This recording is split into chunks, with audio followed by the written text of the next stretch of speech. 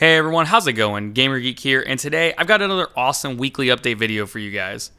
This has really been a pretty crazy week, if I'm being honest. I really didn't expect the turnout we got from the voice auditions, and there's still a whole week left until the auditions are officially closed, meaning we'll likely be getting a ton more.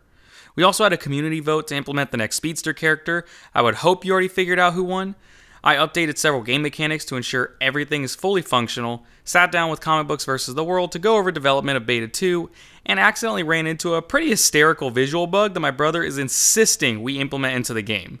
We'll be talking about all this and more, so let's jump into the video. Check out the list of timestamps in the video description for those who want to jump around. Alright, let's get into it. Isn't that weird? Why would someone click on a video and not watch all the way through? It's like cutting yourself off halfway through a sentence. Starting off, let's talk characters. Like I mentioned already, I posted a community vote this week to decide who will be the next Speedster character introduced to Beta 2. The options, for those who weren't aware, were Savitar, Wally West, and Jay Garrick. To the surprise of no one, Savitar won out. Not to worry though, for all the Jay and Wally fans out there, just because your favorite speedster didn't win the vote, that doesn't mean they're out for good. I've seen numerous comments asking why I can't just add all three characters in, and the answer is I can. I will, in fact. Every character option posed to the community during votes will eventually be implemented into the game at some point in the future. The community votes just help me prioritize characters and features so that I don't get stuck working on things that you all aren't as interested in. So even though Pizza Face Barry won out this time, Wally and Jay will eventually be rotated back through for another community vote later on. Also, keep in mind, as I work with my brother Comic Books vs. the World, some characters might skip voting entirely and be implemented straight away if necessary for the story. Okay, so Savitar won the community vote. So what? When can we actually expect to see some of his gameplay? Well, right now, actually. Working on Savitar, I knew a big thing about him that I just had to get right was his size. The man is an absolute beast of a character. I needed to make sure he towered over every other character like in the show, but I also needed to make sure he was proportioned correctly too. Using the Savitar model I found online, I guesstimated his height by looking up Grant Gustin's actual height and the estimated height of the Savitar armor posted online. I then sized up the model to what looked to be an appropriate height using the implemented Flash character for comparison, and then finally I had to rework the character model to make him a bit thicker in the midsection, unfortunately taking away his model figure, but making him look a little more show accurate. Now after all of that, he's ready for the game. I just had one last obstacle in my way. The goddamn lightning trail. Fans of my channel, the older ones at least, will recall a slip up, a little slip up I made when I first showed off this character in a test build of the game well before Beta 1 was ever even planned. I accidentally made his lightning trail blue. It was a minor mistake, a total brain fart on my end if I'm being honest, and I'll be damned if anyone was ever gonna let me live it down. I had hundreds, what felt like thousands of comments, all attempting to explain to me what color Savitar's lightning trail really is. It's white, maybe with a tinge of blue, but it's white. It's white. Yes, it's white. I know it's white. It's freaking white! I was hoping the video would fade away into obscurity like the rest of my videos had done. I was so used to maybe a couple hundred views and then my video being dead. I looked forward to it for this one to be honest, but no. That, of all the possible videos, was the one. That one became the most viewed video on my channel ever. So you better believe I had his trail white this time around. I couldn't even delete the old video, change it, and re upload it because, again, it's the most viewed video on my channel. But believe me, I learned my lesson. I don't make mistakes anymore. I'm a big boy. I realized that if I were to post a video with a mistake in it, I'd be throwing myself headfirst into a bunch of bullshit never again. So yeah, Savitar's been implemented into the game and he looks good. He controls well and he's correctly sized. He also has a couple alternate skins to choose from too. In case you missed the thumbnail, Savitar has his default look, the Savitar Red armor, and finally Future Flash. Yes, Future Flash was originally a Flash alternative skin, but I swapped him over to be a Savitar skin.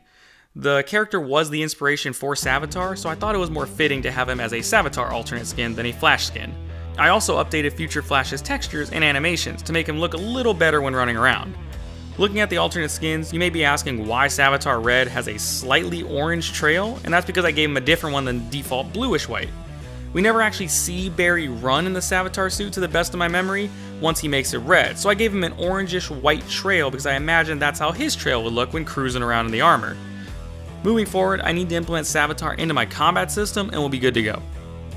Speaking of that, I'm entirely focused on the combat system at the moment, even more so now that I have another character to implement. I did finally give Arrow some abilities too and tried to spice up his gameplay to make it more interesting to use. Arrow can fight empty handed, kicking the crap out of whatever's in front of him, or pull out the bow to use some handy trick arrows. Right now, he only has two. He will have a whole arsenal eventually, but for now, I gave him explosive shots, which just deal straight damage, and freezing shots that slow enemies down for several seconds. It's funny because I've actually said before he's my least favorite character, but his combat system has really helped push the game forward, so thanks, Arrow. I guess. When designing his trick arrows, it gave me the inspiration to categorize different damage types for the game. His explosive arrows deal fire damage, which will eventually be made to burn enemies and deal damage over time. His freezing arrows obviously deal ice damage, which will deal additional damage to speedster characters and penalize their speed to a greater extent. I'm also planning to add a lightning damage type, which will do less damage to speedsters but inflict status conditions to normal characters. The vibration damage type, which will carry unique status effects with it, and the bleeding damage type, which will obviously do damage over time, similar to the fire type, but takes longer to wear off and needs to be inflicted over several attacks. So obviously, I've been working hard on this game. With that being said though, I obviously run into the occasional bug once in a while during development. One in particular caught my brother's attention when going over development with him. This is what happened when I accidentally imported the future flash scan into the game incorrectly. The model was attached to the Savitar skeleton, again incorrectly, and we ended up with this. Introducing Slender Flash. Easily my brother's favorite feature of this game, which is really a result of me importing the model incorrectly by accident. I was gonna delete him, but my brother insisted I leave him in as a funny, unlockable character. He even suggested giving him his own combat mechanics and everything. Whether or not Slender Flash actually makes it into the game, he's still an amusing accident that I thought would be really funny to share with you guys. Really quickly, before we close the video, I wanted to talk about the voice auditions and clear up some confusion I saw online. To those who don't have Discord, I'm sorry but I can't help you.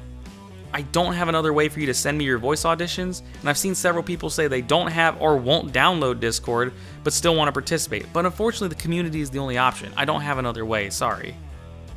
Lots of people have been also asking how the top 3 voices for each character will be notified and what that means for Beta 2. So the plan is, once auditions are closed, the top 3 voices will be contacted privately to let them know that they're in the top 3 for their respective characters. If someone doesn't respond, we can't effectively get hold of you, we'll have to eliminate you as an option and pick the next best voice to replace you. Once we know we found our top 3 for each character, Mrs. GamerGeek and Clapper will handle the callbacks while I work on incorporating a series of voice lines from each person into Beta 2. Also, yes, once we've established the top three for each character, they will be announced on Discord, so there isn't any misunderstanding on whose voices will be put in the game. So what else has Gamer been doing? Well, unless you've been living under a rock for like a day, you'll know that Clapper, Crichton, and myself have been making several videos together. Like I mentioned last week, I received several comments and DMs asking if I'd ever do gaming videos or just game development videos. Well, now we're doing both. We recently launched our series, Ah! Craft, with episodes being uploaded across all three of our channels, and I recently uploaded the first episode of Gaming Mod because who doesn't love a good Garry's Mod video? Assuming these videos gain some traction and popularity, we can obviously do a ton more, and we've even talked about making some of the videos community events and live streams. Honestly though, the videos are a ton of fun to record. It's just three idiot friends having a good time together, and hopefully we can make a ton more of these. So if you haven't already, head over to Crichton and Clapper's channels and give those videos a like if you can. Hey, thanks so much for watching. I do hope you guys enjoyed the video, and if you did, remember to leave me a like and a comment down below. Don't forget to join us over on Discord and consider signing up for the Patreon. There's a lot of cool perks there, and you can even become an NPC in the Flash game. Go check out the Gamer Geek website and scroll down to the events calendar so you stay up to date on any community events or important uploads. Thanks everyone, and I'll see you guys in the next one.